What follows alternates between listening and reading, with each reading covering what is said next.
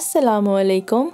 آج کی کہانی دو منہی کہانی سے پہلے if you are new on our channel and you haven't subscribed yet تو ہمارا چینل بیا اور مالا سبسکرائب کیجیے۔ And do not forget to press the bell icon سوچتی ہوں کہ میں تیاگ کلینک میں گئی ہی کیوں۔ کیا فائدہ ہوا بھلا؟ اپنی بیماری دور کرانے کے لیے گئی تھی، ساری مخلوق کو بیمار کر کے آ گئی۔ وہی بات ہوئی نا، بڑھیا بڑھیا تیرا کبڑ دور ہو جائے یا ساری دنیا کبڑی ہو جائے۔ لیکن تیاگ بیتی سنانے سے پہلے میں اپنا تعارف کروا لوں۔ میں سانوری ہوں، تیس سال کی۔ سلمان سے شادی ہوئے، دو سال ہوئے۔ لو میرج تھی۔ میرے خد و خال عام سے ہیں یعنی ایوریج سے کچھ بہتر۔ ہاں ذہن کی تیکھی ہوں، کاٹھی مضبوط ہوں، لیکن نہیں، میں غلط بیانی کر رہی ہوں کثر نفسی سے کام لے رہی ہوں۔ میرے خد و خال ایوریج صحیح، لیکن مجھ میں بڑا چارم ہے۔ راہ چلتے سر اٹھا اٹھا کر گردن موڑ موڑ کر دیکھتے ہیں لوگ۔ دیکھتے ہیں تو یوں دکھتے ہیں جیسے سر سے پاؤں تک الو کے پٹھے بن گئے ہوں۔ بس میں نہیں رہتے۔ کنٹرولز ہاتھ سے چھوٹ جاتے ہیں۔ ڈولتے ہیں۔ پتوار چھوٹ جائے تو کشتی ڈولتی ہے نا، ویسے ہی۔ میں لڑکی پن سے نکل آئی ہوں، لیکن ابھی بھی لڑکی ہی ہوں۔ عورت نہیں بنی۔ اللہ نہ کرے بنوں عجیب سا عالم ہے۔ جیسے شام کو ڈسک ہوتی ہے نا رات نہیں پڑتی، لیکن دن بھی نہیں رہتا، لیکن دن دن سا لگتا ہے۔ لو، ایک بات تو میں بھول ہی گئی۔ مجھ میں ایک عجیب سی بات ہے۔ جیتی ہوں، بھرپور جیتی ہوں۔ تھری ڈائمینشنل زندگی سے عشق ہے۔ ساتھ ہی ساتھ خود کو جیتے ہوئے دیکھتی بھی ہوں، پرکھتی رہتی ہوں۔ سیانے کہتے ہیں، دونوں باتیں ایک ساتھ نہیں ہوتی۔ یا تو جیو یا خود کو جیتے دیکھو۔ وہی eat the cake and have it too والی بات۔ پتہ نہیں میری بات کیوں الگ ہے۔ کیک کھاتی بھی ہوں اور پاس بھی رکھے ہوئے ہیں۔ ہائے مصیبت ہے، بڑی مصیبت ہے۔ اپنے برتاؤ کی تفصیلات پر نظر رکھنا بہت تکلیف دہ ہوتا ہے۔ مثلاً میں جھوٹ بولتی ہوں، ساری دنیا بولتی ہے۔ میں کس شمار کے تار میں ہوں بھلا؟ لوگوں کے لیے جھوٹ ایک معصوم سی چمکیلی سی آرام دہ بات ہے۔ ہائے ایسا ہے، مجھے تو پتہ نہ تھا۔ لو، میں نے خط لکھا تھا۔ نہیں نہیں، مجھے تو اس لڑکے سے جذباتی لگاؤ نہیں۔ ایسے ایسے آرام دہ جھوٹ۔ خط لکھا تھا، لیکن جذباتی لگاؤ نہیں۔ لیکن ایسے جھوٹ میرے لیے آرام دہ نہیں ہوتے۔ کانفلکٹ کا باعث بن جاتے ہیں۔ ادھر جھوٹ بولا، ادھر اندر سے آواز اٹھی۔ جھوٹ جھوٹ جھوٹ۔ نہیں یہ مثال غلط ہے۔ مجھے یہ مثال نہیں دینی چاہیے تھی۔ میں نے تو کبھی جھوٹ بولا ہی نہیں۔ کیوں بولوں؟ جھوٹ وہ بولتے ہیں جنہیں ڈر ہوتا ہے کہ سننے والے کو سچ کڑوا لگے گا اور وہ تھو تھو کرنے لگے گا۔ میں تو ان لڑکیوں میں سے ہوں جن کے منہ سے کڑوا سچ سن کر بھی سننے والا بد مزہ نہیں ہوتا۔ پھر جھوٹ بولنے کا فائدہ؟ ہاں تو میں کہہ رہی تھی کہ مجھ میں بڑا چارم ہے۔ راہ چلتے کوئی بانکا اچھا لگے تو ایسی چھلکی چھلکی بھرپور نگاہ ڈالتی ہوں کہ اس کا سارا کلف اتر جاتا ہے، گویا ہو کر گر پڑتا ہے۔ پھر میرے اندر سے آواز آتی ہے، بیچارہ، اپنے آپ سے بھی گیا۔ مجھے پتا ہے کہ میں بڑی طاقتور نگاہ رکھتی ہوں۔ اتنی سادگی سے نخرہ کرتی ہوں کہ کوئی اسے نخرہ مان ہی نہیں سکتا۔ سمجھتا ہے کہ انوسینس ہی انوسینس ہے۔ میک اپ کرتی ہوں، لیکن کیا مجال کوئی سمجھے کہ میک اپ ہے؟ سمجھتے ہیں میک اپ سے بے نیاز ہوں۔ لو، وہ میک اپ ہی کیا جو میک اپ نظر آئے؟ پھٹے منہ ایسے میک اپ کا۔ بس میری ایک ہی مشکل ہے۔ میرے اندر کچھ ہے۔ پتہ نہیں کیا ہے، پر ہے۔ جس طرح مدفون خزانے پر سانپ ہوتا ہے، جس طرح احرام مصر کے اندر جادو ٹونا ہوا ہے، ویسا ہی کچھ ہے۔ اوہ، غلط کہہ گئی۔ میرے ایک نہیں، دو ہیں۔ دو روحیں ہیں۔ کبھی ایک کنٹرول پر بیٹھ جاتی ہے، کبھی دوسری۔ میں دو منہی سانپ کی طرح ہوں۔ کبھی دو منہی دیکھی ہے؟ اس کے دو سر ہوتے ہیں۔ ایک سر کی جانب، دوسرا دم کی جانب۔ سر اٹھایا، چل پڑی۔ پھر رک گئی سر زمین پر رکھ دیا۔ پھر دم والا سر اٹھایا اور اس جانب چلنے لگی۔ کبھی اس جانب، کبھی اس جانب، پتہ نہیں چلتا کہ کب کس جانب چلنے لگوں گی۔ پیش خبری سے آ رہی ہوں مطلب کہ انپریڈکٹیبل ہوں۔ بس یہی میری مشکل ہے، یہی میری بیماری۔ لیکن ٹھہریے شروع شروع میں مجھے نہ پتا تھا کہ انپریڈکٹیبل بری چیز ہے۔ الٹا میں تو سمجھتی تھی کہ یہ بڑی پیاری خصوصیت ہے۔ آپ کو کیا پتا، جوان لڑکی ہو چھیڑ دینے والی نگاہ ہو، بے نیازی سے مخمور ہو، اوپر سے برتاؤ انپریڈکٹیبل ہو، پھر تو وہ تلوار بن جاتی ہے۔ بچپن سے ہی میں دو دلی تھی۔ کبھی تو اپنی مس اتنی اچھی لگتی، اتنی اچھی لگتی کہ میں اس کے وارے نیارے جاتی۔ کبھی آنکھ اٹھا کر دیکھتی تو ایسی دکھتی جیسی اکتائی، تھکی، ہاری، بے جان عورت ہو۔ کبھی ماں باپ بڑے پیارے لگتے، کبھی ایسا لگتا جیسے کسائی ہوں۔ دو ایک محبتیں بھی ہوئیں۔ کبھی محبت کے جذبات سے چلکتی چھلکے جاتی۔ کبھی سوکھی کاٹ ہو کر رہ جاتی۔ یہ دو دھاری پن بچپن ہی سے موجود تھا۔ دو سوادی تھی۔ کھٹ میٹھی، گنگا جمنی۔ گرم ٹھنڈی، الٹی سیدھی، سبھی کچھ تھی۔ لیکن ان دنوں میں اس بات کو اہمیت نہ دیتی تھی۔ جوان ہوئی تو دو منہی ابھرتی آئی ابھرتی آئی۔ چھا گئی۔ پھر دفتر مجھے احساس ہوا، ڈر گئی، بری طرح سے ڈر گئی۔ ان دنوں میں سلمان کی محبت میں چور تھی۔ اتنی لت پت تھی کہ دوسرا سر اٹھانے کا خیال ہی نہیں آیا تھا۔ اس دیوانگی میں ڈیڑھ سال گزر گیا۔ پھر ایک روز میں نے جو سر اٹھا کر دیکھا تو سامنے سلمان نہ تھا۔ پتہ نہیں کون تھا۔ نہ وہ رنگ، نہ وہ روپ، بے جان جس سے مشق کافور کی بو آتی تھی۔ میں سہم گئی۔ اپنی دنیا تباہ ہونے کے خوف سے ڈر گئی۔ خود کو بچانے کے لیے میں نے جھٹ پٹ سلمان سے شادی کر لی۔ شادی کی ہما ہمے میں بات پھر چل نکلی۔ بہرحال مجھے احساس ہو گیا کہ یہ ایک بیماری ہے۔ میں مینٹل ہوں۔ میں نے اس احساس کو بہت دبایا۔ جتنا دباتی، اتنا ابھرتا۔ میں نے بڑے جتن کیے۔ ڈاکٹروں سے ملی۔ ہسپتالوں میں اس قدر گھومی پھری کہ لوگ مجھے ہاسپٹل واکر سمجھنے لگے۔ اسپیشلسٹ کیا دوا دیتے؟ انہوں نے تو میری بیماری کو سمجھا ہی نہیں۔ میں نے بہت سمجھایا، لیکن سمجھانا آسان ہوتا ہے۔ سمجھنا بہت مشکل۔ ڈاکٹروں سے مایوس ہو گئی۔ شادی سے پہلے تو سلمان میری انپریڈکٹیبل نیچر پر اس قدر محصور ہوتا تھا جیسے سانپ بین پر ہوتا ہے۔ میں سمجھتی تھی کہ شادی کے بعد بھی یوں ہی پھن پھیلا کر میرے ہیرے پھیرے لیتا رہے گا۔ لیکن جو جو وقت گزرتا گیا، اس کا پیش خبری کا مطالبہ بڑھتا گیا۔ اسے میرے دو منہی پن پر غصہ آنے لگا۔ میں گھبرا گئی، سوچتی رہی سوچتی رہی۔ ادھر میں بھی تو ایک نہ تھی، میرے اندر کی دوسری میرے کان میں سرگوشی کرنے لگی۔ ہٹاؤ سلمان کو۔ کوئی اور صحیح؟ اپنے گٹ کوئی اور پھن پھیلا دیکھو۔ دنیا میں نوجوان سبھی عدلتی بدلتیوں پر جان چھڑکتے ہیں۔ یہ سر زمین پر رکھ، دوسرا سر اٹھا۔ دوسرا سر اٹھا کر سلمان کی طرف دیکھتی تو وہ سپاٹ نظر آتا۔ روکھا، پھیکا۔ ہائے، کیا میں اس پر جان دیتی رہی؟ پھر وہ واقعہ پیش آ گیا اور میں لرز کر رہ گئی۔ ایک روز سلمان کا ایک نیا دوست گھر آیا۔ اس وقت سلمان موجود نہ تھا۔ میں تو اسے دیکھ کر ششتر رہ گئی۔ وہی وہی دو سال پہلے کا سلمان، جسے دیکھ کر خود کو میں نے اس کے قدموں میں ڈال دیا تھا۔ وہی رنگ، وہی روپ، وہی شوخی، وہی تازگی۔ میں نے انجانے میں، بالکل، انجانے میں ایک بھرپور چھیڑنے والی نگاہ ڈال دی۔ اس نے پھن پھیلایا اور بین کے ہیرے پھیرے لینے لگا۔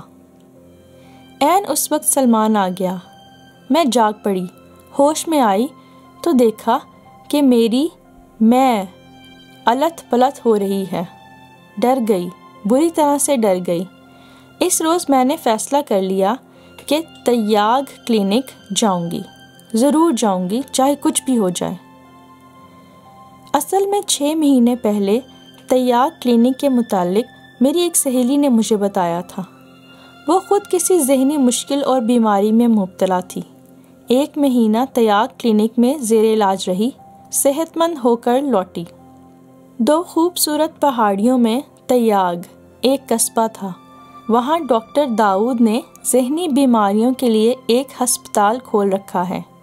ڈاکٹر داؤد ایک زمیندار ہے۔ ولایت سے ایم ڈی کر کے آیا ہے۔ مقصد پریکٹس کرنا نہیں بلکہ علاقے کے لوگوں کی خدمت کرنا ہے۔ عمر بھر کے تجربے اور تحقیق کے بعد اس نے اپنا طریقۂ علاج ڈسکور کیا ہے۔ جڑی بوٹیوں اور مشرومز سے علاج کرتا ہے۔ اس کی شہرت دور دور تک پھیل گئی ہے۔ دور دور سے مریض آتے ہیں۔ ان کی رہائش کے لیے ڈاکٹر نے ایک ہاسٹل تعمیر کر رکھا ہے۔ یہاں تک تو بات ٹھیک تھی۔ لیکن میری سہیلی نے بتایا کہ علاج شروع کرنے سے پہلے وہ مریضوں سے زبانی اور تحریری حلف لیتا ہے کہ علاج کے دوران میں بغیر چوں چرا ڈاکٹر کی ہدایات پر عمل کروں گا۔ اس دوران میں ذاتی سوچ بچار کو عمل میں نہیں لاؤں گا۔ میں سچے دل سے اپنی ول سرنڈر کرتا ہوں۔ یہ سن کر میں ڈر گئی۔ نہیں، یہ مجھ سے نہیں ہوگا۔ میں سبھی کچھ تیاگ سکتی ہوں، اپنی ول نہیں۔ اپنی ول نہیں تیاگ سکتی۔ میرے پاس لے دے کے ایک میں ہی تو ہے، اسے میں کیسے تیاگ دوں؟ کیسے کسی دوسری شخص کے تابع کر دوں؟ نہیں نہیں، یہ نہیں ہو سکتا۔ میری سہیلی نے مجھے بہت سمجھایا کہ ذہنی بیماری کے علاج میں سب سے بڑی رکاوٹ میں ہی تو ہوتی ہے۔ اس نے بڑی دلیلیں دیں، لیکن میں نہ مانی۔ اس سے کچھ دیر پہلے میرے چچا نے مجھے ایک بزرگ کی خدمت میں بھیجا تھا۔ انہوں نے کہا سانوری بیٹی، تیری ساری مشکلات دور ہو جائیں گی۔ بزرگ کی خدمت میں پہنچی، انہیں تفصیل سے اپنی ذہنی کیفیت سنائی۔ سن کر بولے، بیٹی، سب ٹھیک ہو جائے گا۔ آپ ہماری بیت کر لو۔ بیت کیا ہوتی ہے؟ میں نے پوچھا۔ بولے بیت کا مطلب ہے حوالگی، سپردگی۔ خود کو ہمارے سپرد کر دو۔ کیسے سپرد کر دوں؟ میں نے پوچھا۔ بولے، اپنی میں تیاگ دو۔ سارا شر تمہاری میں کا ہے۔ وہ خود سر ہو گئی ہے، بٹ کر دو ہو گئی ہے۔ جیسے سانپ کی زبان بٹ کر دو ہو جاتی ہے۔ میں غصے میں کھولنے لگی اور جواب دیے بغیر بھاگ گئی۔ ہاں تو اس روز میں نے فیصلہ کر لیا کہ میں تیاگ کلینک جاؤں گی، لیکن حلف نہیں اٹھاؤں گی۔ اس رات میں نے سلمان سے کہا، سلمان، میں ایک مہینے کے لیے ہل اسٹیشن جانا چاہتی ہوں۔ میرا دل چاہتا ہے کہ کچھ دیر کے لیے اکیلے رہوں، کسی ایسے پہاڑی مقام پر جہاں بھیڑ بھڑکا نہ ہو کراؤڈ نہ ہو۔ اس نے حیرت سے میری طرف دیکھا۔ دیر تک چپ چاپ بیٹھا رہا۔ پھر بولا، دیکھو، اگر تم واقعی تنہا رہنا چاہتی ہو تو ٹھیک ہے، مجھے کیا اعتراض ہو سکتا ہے؟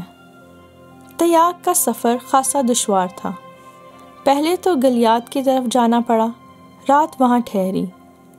پھول گلی سے تیاگ جانے والی سزوکی مل گئی۔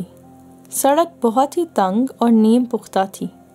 ساٹھ میل کا سفر سات گھنٹوں میں طے ہوا۔ شکر ہے کلینک سے ملکہ ہاسٹل میں جگہ مل گئی۔ رات گویا گھوڑے بیچ کر سوئی۔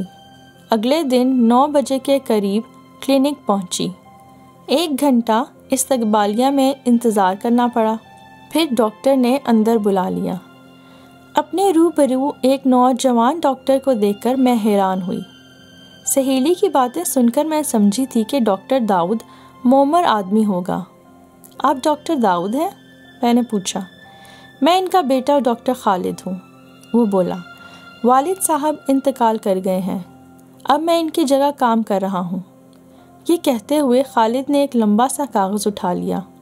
بولا، سب سے پہلے اپنی کیس ہسٹری لکھوا دیجیے ہر وہ تفصیل بتائیے جسے آپ اہم سمجھتی ہیں۔ دو گھنٹے میں کیس ہسٹری مکمل ہوئی، میں نے ہر بات بتا دی۔ اس کے بعد وہ کہنے لگا کہ اب آپ آرام کیجیے، رات کو میں آپ کا کیس اسٹڈی کروں گا، کل سے آپ کا علاج شروع ہو جائے گا۔ پتہ نہیں اس وقت میرے ذہن میں یہ بات کیسے آئی۔ میں نے کہا کہ میں آپ سے ایک سوال پوچھنا چاہتی ہوں۔ یہ بتائیے مجھے کہ اس گاؤں کا نام تیاگ کیوں ہے؟ وہ مسکرایا، کہنے لگا، بس نام ہے، جس طرح آپ کا نام سانوری ہے، حالانکہ آپ گوری ہیں۔ تھوڑے سے وقفے کے بعد اس نے پھر سے بات شروع کی، کہنے لگا، والد صاحب کا اس کے متعلق ایک نظریہ تھا۔ مفروضہ کہہ لیجیے میں پھر سے بیٹھ گئی۔ ڈاکٹر خالد میں مجھے ایک بے نام سی کشش محسوس ہونے لگی تھی۔ بتائیے نا، میں نے کہا، وہ مفروضہ کیا تھا؟ لیکن پہلے تو یہ بتائیے کہ تیاگ کا مطلب کیا ہے؟ کہنے لگا، تیاگ ہندی کا لفظ ہے مطلب ہے چھوڑ دینا، ترک کر دینا۔ یہ قصبہ اصل میں ہندوؤں نے آباد کیا۔ اوپر ٹیلے پر ایک مندر بنا ہوا ہے۔ مندر کے ساتھ ایک عمارت ہے۔ غالباً اس عمارت کا نام تیاگ بھون تھا، وہ رک گیا۔ والد صاحب کا نظریہ بھی تو بتائیے نا۔ میں نے پوچھا، مسکرا کر بولا، والد صاحب کا کہنا تھا کہ پہاڑوں کی بلندی کا انسانی جذبات سے گہرا تعلق ہے۔ جو جو نیچے اترو، جذبات کی شدت بڑھتی جاتی ہے۔ وہ گاڑے ہوتے جاتے ہیں۔ بوجھل، بھاری۔ جو جو اوپر جاؤ، جذبات میں لطافت پیدا ہوتی ہے، مٹھاس پیدا ہوتی ہے۔ نیچے لاگ لگاؤ بڑھتے ہیں۔ اوپر بے نیازی کا سما پیدا ہوتا ہے۔ والد صاحب کہا کرتے تھے، دس ہزار کی بلندی پر بھور سمے کا عالم ہوتا ہے۔ بھور سمے کیا؟ میں نے پوچھا۔ وہ بولا، جس طرح صبح سویرے، ڈان کے وقت سفیدی سی ہوتی ہے نا۔ ایک عجیب سا سکون، اطمینان، نروان۔ دس ہزار کی بلندی پر جذبات کی ایسی کیفیت ہوتی ہے۔ نیچے کے لوگ ندگی کے تالاب میں ڈوبے ہوئے ہوتے ہیں۔ اوپر کے لوگ ڈوبتے نہیں، تیرتے ہیں۔ نیچے خواہش میں ڈنک ہوتا ہے۔ اوپر خواہش تو ہوتی ہے، پر اس میں ڈنک نہیں ہوتا۔ نیچے انسان کی میں میں میں اتنا ملبہ ہوتا ہے کہ وہ پتھر بن جاتی ہے۔ اوپر روئی کے گالے جیسی ہلکی پھلکی رہتی ہے۔ نیچے محبت اور نفرت۔ دونوں میں دھار ہوتی ہے۔ اوپر نفرت بھی ہوتی ہے، محبت بھی، لیکن تیز دھار نہیں ہوتی۔ اوپر سے آپ کی کیا مراد ہے؟ میں نے پوچھا۔ آٹھ دس ہزار کی بلندی، اس نے جواب دیا۔ آپ کو حیرت ہوگی کہ یہاں تیاگ میں کوئی ذہنی بیماری نہیں ہوتی۔ ذہنی بیماریاں نیچے جنم لیتی ہیں، وادیوں میں، میدانوں میں۔ ایک بات یقینی ہے ذہنی بیماری میں سے پھوٹتی ہے۔ میں میں گرہیں لگ جاتی ہیں۔ آپ ایک سال یہاں قیام کریں، ساری گرہیں کھل جائیں گی۔ آپ ہی آپ ڈنک نکل جائیں گے، دھاریں کند ہو جائیں گی۔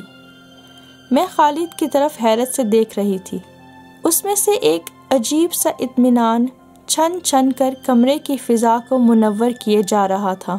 اس کی باتیں میرے لیے بہت انوکھی تھیں۔ میری میں پلپلی ہوئی جا رہی تھی۔ میں نے ایک شدید کوشش کی۔ اٹھ بیٹھی۔ تھینک یو اس رات میں اپنے کمرے کی ٹیرس پر بیٹھی رہی۔ بیٹھی رہی۔ پتہ نہیں کب تک بیٹھی رہی۔ میں محسوس کر رہی تھی جیسے میرا وزن کم ہوتا جا رہا ہے۔ میرا تعلق دھرتی سے کٹتا جا رہا ہو۔ اگلے روز ڈاکٹر خالد نے کہا، مس، میں نے آپ کا کیس اسٹڈی کر لیا ہے۔ میرا خیال ہے کہ آپ دو ہفتے میں ٹھیک ہو جائیں گی۔ آج سے آپ کا علاج شروع ہو جائے گا۔ علاج شروع کرنے سے پہلے آپ کو ایک فارمیلٹی ادا کرنی ہوگی۔ یہ ایک حلف ہے۔ اس نے ایک چھپا ہوا کاغذ اٹھا کر میری طرف بڑھاتے ہوئے کہا۔ ایک تو ہاتھ اٹھا کر یہ حلف پڑھیے اور دوسرے اس فارم پر دستخط کر دیجیے نہیں ڈاکٹر صاحب، میں نے کہا، میں اپنی میں کسی کے حوالے نہیں کر سکتی۔ اس نے حیرت سے میری طرف دیکھا۔ اس حیرت میں ستائش بھی شامل تھی۔ میں نے جواب میں ایک بھرپور نگاہ چلکائی لیکن خالد پر کلف تھا ہی نہیں جو ٹوٹتا۔ ہاں ذرا سا لڑکھڑایا ضرور، لیکن پھر سنبھل گیا۔ کہنے لگا، مسز سلمان، تمام ذہنی بیماریاں میں سے پھوٹتی ہیں۔ یا تو میں میں گرہیں لگ جاتی ہیں، یا دراڑیں پڑ جاتی ہیں، یا کانٹے اگاتے ہیں۔ اس لیے میں کو تیاگے بغیر شفا نہیں ہوتی۔ نہ ہو شفا، میں نے جواب دیا۔ وہ مجھے سمجھانے لگا، بولا، سائیکائٹری میں بھی ڈاکٹر مریض کی توجہ ذات کی جانب سے ہٹا کر اپنی جانب مبزول کر لیتا ہے۔ یہی وجہ ہے کہ بیشتر مریض لڑکیوں کو ڈاکٹر ہی سے محبت ہو جاتی ہے۔ مجھے اس پر غصہ آ گیا۔ میں نے کہا، ڈاکٹر خالد میں اتنی دور چل کر آپ سے محبت رچانے نہیں آئی۔ پھر میں نے ایک ایسی نظر اس پر ڈالی جس کا مطلب تھا، آپ بے شک چاہے مجھ سے محبت رچائیں وہ گھبرا گیا، کہنے لگا اچھا آپ یوں کریں کہ آٹھ دس روز یہاں قیام کریں اور اس مسئلے پر سوچیں۔ شاید وہ رک گیا۔ کیا آپ حلف لیے بغیر علاج شروع نہیں کر سکتے؟ میں نے پوچھا۔ حلف علاج کا ایک حصہ ہے، اہم ترین حصہ۔ وہ چڑھ کر بولا، خدا حافظ، میں اٹھ بیٹھی۔ شام کے وقت جب میں کمرے میں اکیلی بیٹھی تھی تو دروازہ بجا۔ میں نے بن سوچے سمجھے کہہ دیا، کم ان۔ میرے سامنے ڈاکٹر خالد کھڑا تھا۔ بیٹھیے، میں نے کہا۔ میرا خیال تھا کہ وہ پوچھے گا، کہیے، آپ نے کیا فیصلہ کیا؟ لیکن اس نے آتے ہی کھڑکی کی طرف اشارہ کیا اور بولا وہ سامنے ٹیلے پر جو جنگل ہے، اس جنگل میں عجیب و غریب قسم کے مشروم اگتے ہیں۔ مثلاً، ایک مشروم ہے جو ٹہلتا ہے۔ کیا مطلب؟ میں نے پوچھا۔ ایک فٹ کے دائرے میں ٹہلتا ہے۔ صبح یہاں ہے۔ دوپہر کو آدھا فٹ سرکا ہوا۔ شام کو پورا ایک فٹ۔ وہ مسکرایا۔ بولا، حقیقت یا ریالٹی؟ آدھی سے زیادہ الف لیلوی ہی ہے۔ آپ خود الف لیلوی برتاؤ بیت رہی ہیں۔ کون سا برتاؤ؟ دو رخی برتاؤ؟ اس نے جواب دیا۔ اس کے بعد دیر تک ہم خاموش بیٹھے رہے۔ پھر وہ مجھے عجیب و غریب قسم کے مشرومس کی متعلق بتاتا رہا۔ جب وہ جانے لگا تو میں نے پوچھا، آپ مشرومس سے علاج کرتے ہیں؟ کہنے لگا ہاں بیشتر۔ میں نے پوچھا مشروم کیسا اثر رکھتے ہیں؟ کہنے لگا، سب سے پہلے مریض کو ہم وہ مشروم دیتے ہیں جو مریض کی میں میں سے پھونک نکال دے۔ یہ کہتے ہوئے وہ کمرے سے باہر نکل گیا۔ اسی رات خانسامہ کھانا لے کر آیا تو کہنے لگا، بیگم صاحبہ، ڈاکٹر خالد کبھی ہاسٹل میں نہیں آئے تھے۔ آج پہلی مرتبہ انہیں ہاسٹل میں دیکھ کر میں تو حیران رہ گیا۔ خانسامہ کی بات سن کر میری، میں میں مزید پھونک بڑھ گئی۔ اگلے روز شام کو وہ پھر آ گیا۔ میں نے پوچھا، ڈاکٹر، آپ شادی شدہ ہیں کیا؟ اس نے نفی میں سر ہلا دیا۔ کہنے لگا، میں لیڈی ڈاکٹر سے شادی کروں گا جو ہمارے طریقے علاج کو اپنا لے۔ میں نے اسے چھیڑا اور اپنی میں چاندی کی پلیٹ میں رکھ کر آپ کو بھینٹ کر دے، ہے نا؟ نہیں، وہ مسکرایا۔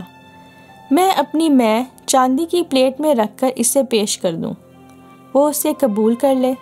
محترمہ، وہ بولا، محبت کیا ہے؟ اپنی ول سرنڈر کر دینا۔